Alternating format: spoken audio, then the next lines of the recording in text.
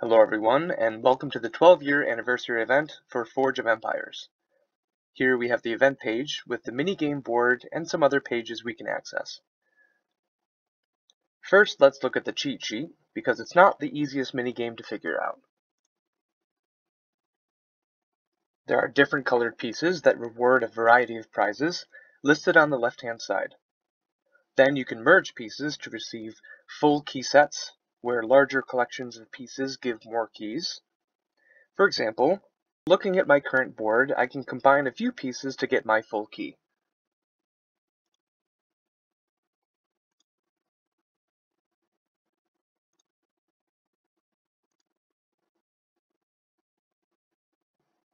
And then combine that full key to create a larger piece, which I can then Trade in for three keys. With enough different colored keys, I can choose my prize chest. Among other things, the prize chest can reward the daily special, shown here in the top right. If you don't like the daily special, you can switch it out once per day.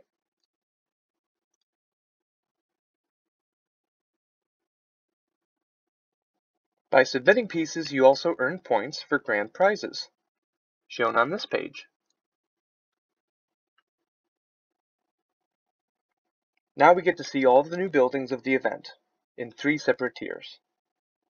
Here's the Golden Orrery, a previous event building with some slightly lacking production for its 4x5 size. Luckily, the new trend of giving upgrades to old event buildings is continuing, so it can now provide a whole lot more.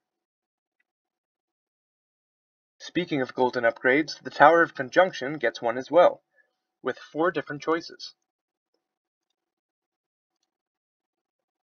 My personal favorite is probably the Phantom Tower. Stage of Ages gets an upgrade kit as well, which is unfortunate because I sold all of mine in the Antiques dealer.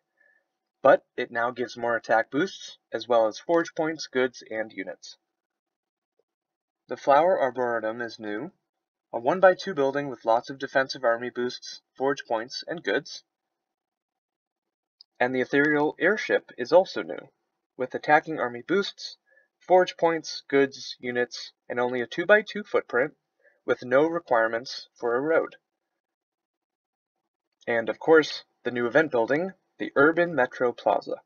It has 10 base levels, with the 10th level giving a good amount of attack boosts for both attacking and defending armies, along with coins, metals, forge points, goods, and fragments for special buildings and upgrades. There's the silver upgrade that increases all of these rewards. And then the golden upgrade that increases them even further still. The league table is similar to past events, where you compete against everyone else in your world for top spots and prizes. The special building here is called Zeffy's Fusion Drinks, and it gives huge rewards for a 2x3 building that doesn't need a road. Lately, the minigames have been getting paired with the rival quests that release every so often on Tuesdays. From the rival quests and the event quests, you can earn special powers to play in the minigame.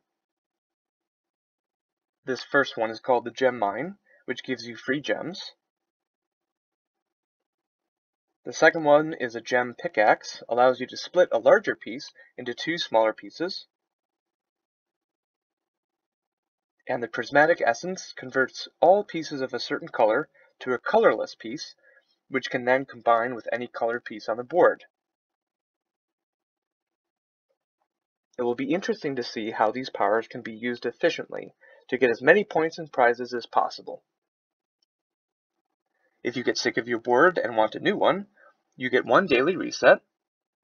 Sometimes this is a better idea than spending lots of energy, the event currency, on a bunch of pieces just to unlock the last few spots. Let me know in a comment below if you're excited for this event or are focusing on getting a particular building. In the meantime, that's the end of this video. Thanks very much for watching. If you have any comments or questions, feel free to leave them below. If you enjoyed this video and would want to see more, please like and subscribe. And as always, keep on jamming.